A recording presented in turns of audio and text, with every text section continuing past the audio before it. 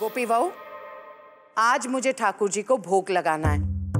तो भोग में खिचड़ी बनाना। और हाँ उपवास वाला नमक डालना और लहसुन प्याज बिल्कुल मत डालना। समझी गई?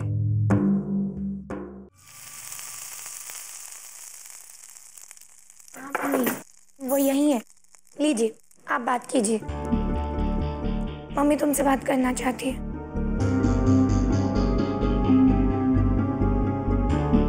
जी मामी। तेरा दिमाग खराब हो गया है गोपी। हाँ? तेरी भलाई के लिए मैं इतनी माथा कूट कर रही हूँ और तू है एक अच्छी बहू बनने की कोशिश में मेरी सारी मेहनत पानी में फिरे जा रही है। लेकिन मामी मैं क्या करूँ? सबका व्यवहार मेरे लिए कितना अच्छा है। तो उनका दिल तोड़ना मेरे लिए थोड़ा कठिन हो रहा है। लेकिन मामी राशि बेन जैसा जैसा बता रही है मैं बिल्कुल वैसा ही कर रही हूँ। अच्छी बात है बेटा पर मैं भी तो ये सब इसीलिए करवा रही हूँ ना कि तू ये नहीं चाहती कि तू घर छोड़े और अहम जी की बदनामी हो। हाँ मामी। तो बस अब अपना दिमाग ज़्यादा लड़ाने की कोशिश मत कर।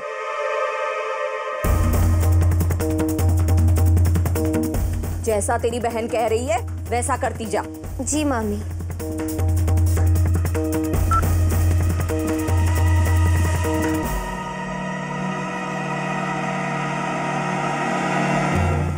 राशि बेन? राशि बेन ये आप क्या कर रही है?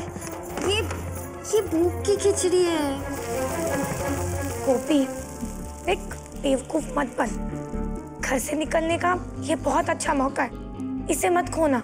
लेकिन राशि बेन हम भगवान के साथ कैसे खिलवाड़ कर सकते हैं? गोपी, भगवान जी ने ही हमें रास्ता दिखाया है। और देख, तू ज़्यादा सोच मत। जो हो रहा है, उसे होने दे।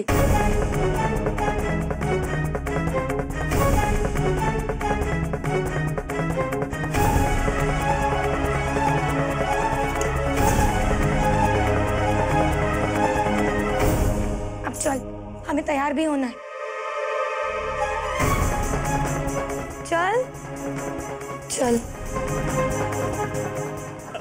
मणि भोग प्रसाद की खिचड़ी लेकर आ।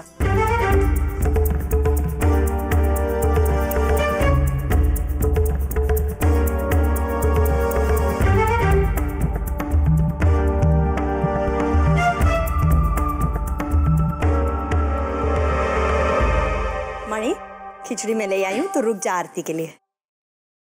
कोकी, ये लो भोग। गोपी बहू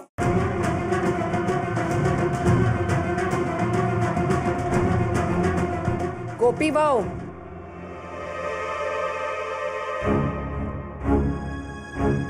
ये भोग प्रसाद की खिचड़ी है। इसका ढक्कन खोलना, तुलसी दल डालना और ठाकुर जी के सामने भोग चढ़ा दो। लो।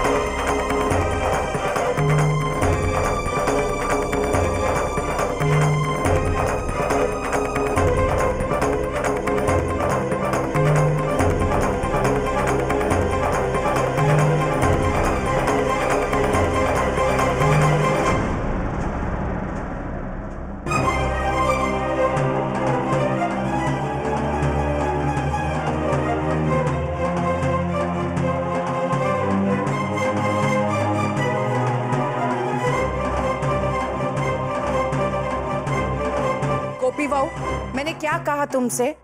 तुलसी दल डालो ना, देख क्या रही हो। किंजल तुम। किंजल, जाओ तुम जाकर दिया जलाओ। जाओ ना, हो क्या गया सबको कोई सुनाई नहीं देता किसी को।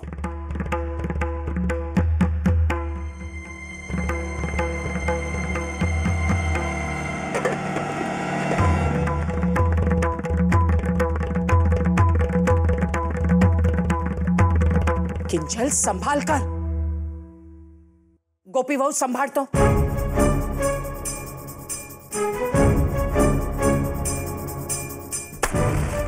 गोपी बहू अब सबको दोनी में भोग डाल के देना।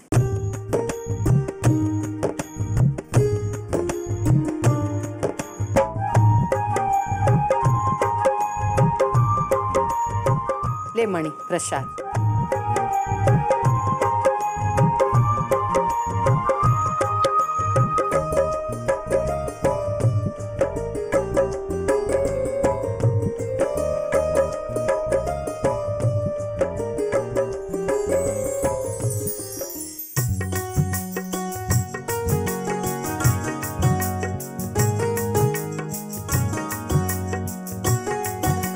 आज के भोग में तो बहुत स्वाद है। है ना बा? हाँ काकी। लगता है गोपी भाभी ने बनाया इनके हाथों में जादू है।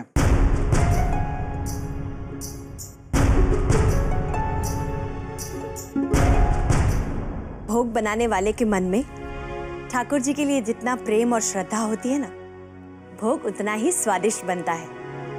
है ना गोपी?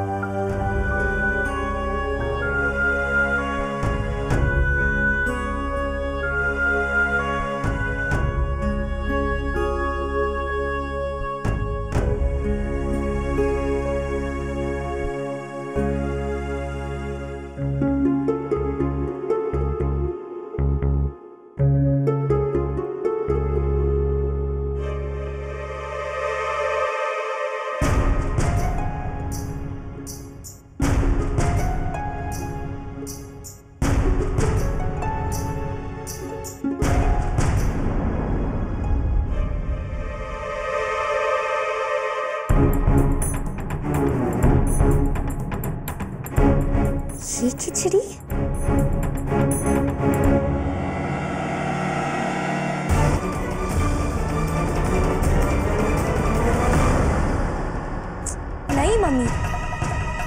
ये सब गोपी नहीं किया वो बस अभी अनजान बनने का नाटक कर रही है। बस तो फिर ठीक है। तू पोताना दिमाग पर बोझो लादीने ना घूम। नहीं तो कोई नई परेशानी खड़ी हो सकती है। तू पहले अपना दिमाग शांत कर। अच्छा ठीक है। चलिए अब मैं फ़ोन रखती हूँ। बाय जय श्री कृष्णा।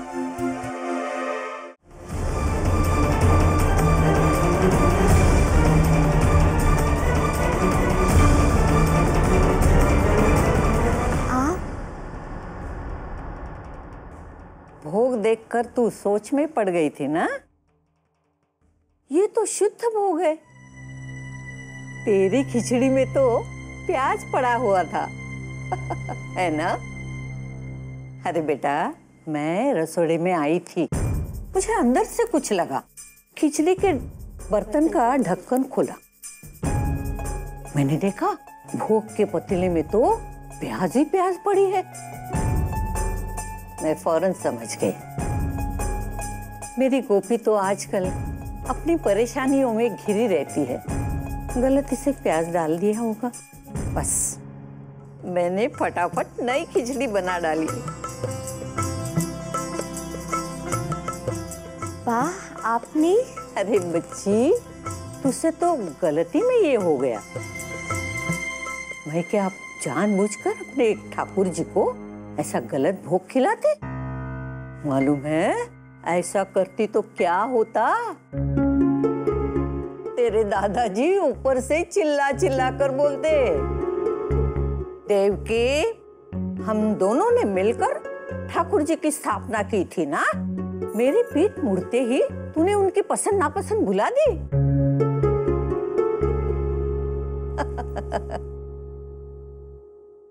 अरे मैं तो मज़ाक कर रही थी। चल थोड़ा आराम कर ले। हाँ? चल। वाह। आपने मेरी गलती सुधारने के लिए इतना कुछ किया। आप थक गई होगी ना? चलिए मैं आपके पैर दबा देती हूँ। ना ना बेटा ना। तू तो अपने कमरे में जा। तेरा अहम आ गया है। पर हाँ संभल के। ऐसे नहीं। जरा हंसती हुई जा। लेकिन बाप। अरे हाँ। मारी बछड़ी।